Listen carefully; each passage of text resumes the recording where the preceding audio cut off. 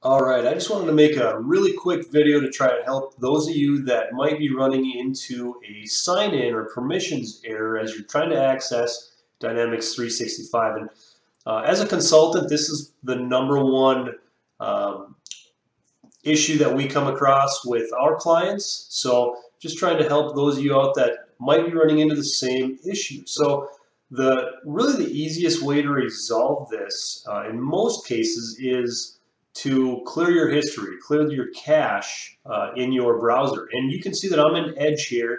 If I was in Chrome, I can do that here as well, or uh, Firefox, really whatever you're using.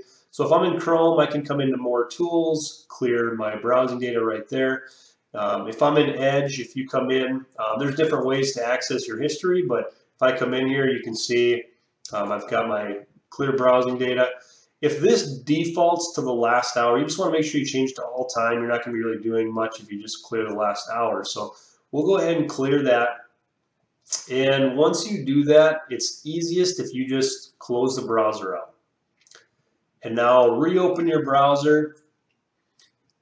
And if I want to jump back in, um, I'm going to, it's got a, a, a saved login here, but I'm going to, that's not the correct one, so I'm going to um, swipe that out, log back in, we'll grab my password for this environment,